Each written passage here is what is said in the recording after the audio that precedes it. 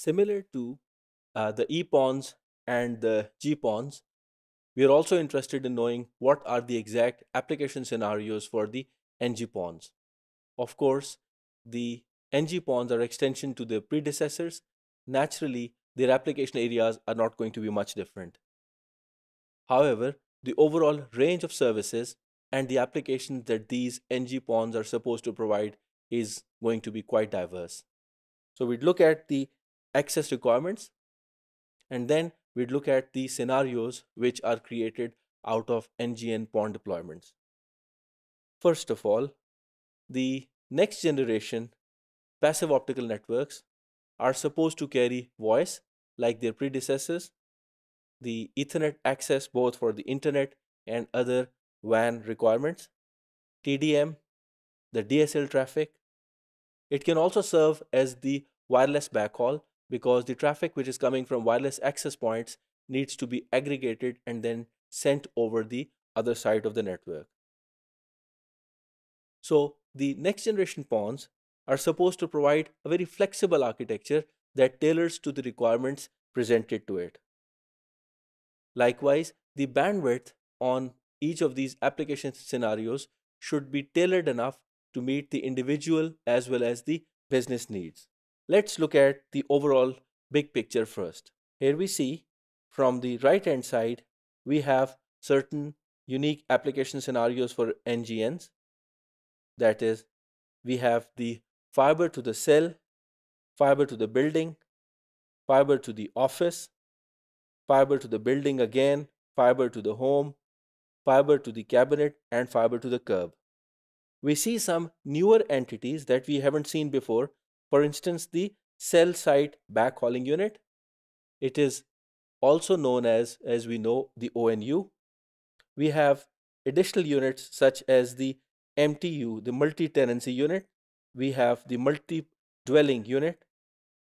We have the small business unit, single family unit. Now you see that these certain building blocks are meant to provide the connectivity for that particular application scenario. Otherwise, the availability of passive splitters in all of these scenarios essentially implies that we are implementing the passive optical networks. Then we have the OLTs, and then we have the aggregation switch. First of all, as usual, fiber to the home. This can provide symmetric services as well as the asymmetric services. When it comes to asymmetry, the IP television, video on demand, the file download, upload, etc. all come under the asymmetric broadband services requirements. As far as the symmetry is concerned, we have email, online gaming, distance learning, file exchange between two peers, and certainly the plain old telephone systems because on either side, the presence of telephones and telephone exchanges can be required. Then we have fiber to the cell. Now you see the name is cell. Cell essentially means that it is going to cover the uh, site meant for certain mobile operators.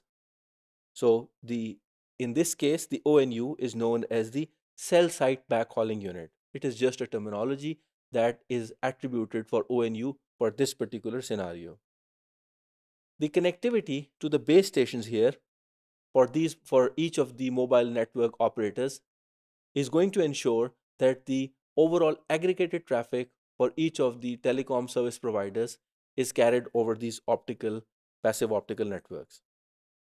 This could include the broadband services for 2G, which is TDM based, 3G, and 4G.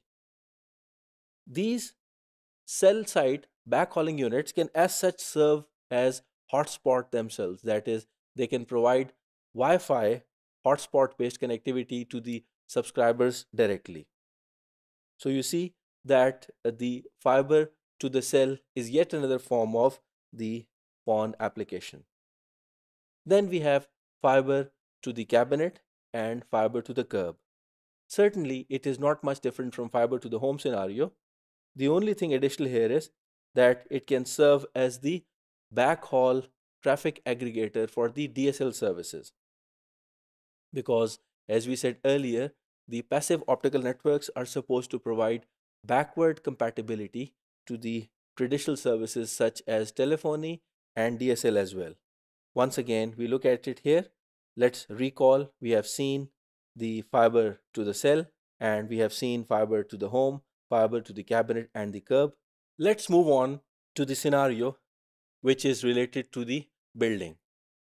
Fiber to the building essentially implies a building that is for customers which are related to business or the residents such as people living in an apartment or on a, in a certain flat.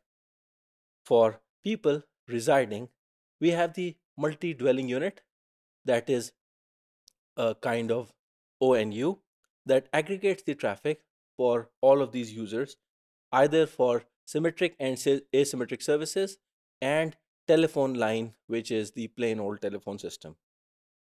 Fiber to the building can also be provided to certain expos and certain commercial buildings for uh, providing business related services which are mostly symmetric. The business users can also require the private lines which are high data rate, multi-rate, bit rate lines which require the users to define what is their business requirement. So this particular scenario is meant for enterprises and large scale corporates. Then we have fiber to the office. Uh, we may have a scenario where we do not have an expo center or a large scale corporate office, but we have a small scale office. So we can have an ONU which is dedicated to providing all the services which are for the multi-dwelling and multi-tenant units to the um, offices as well. So it means that the ONU here is going to be of a smaller scale.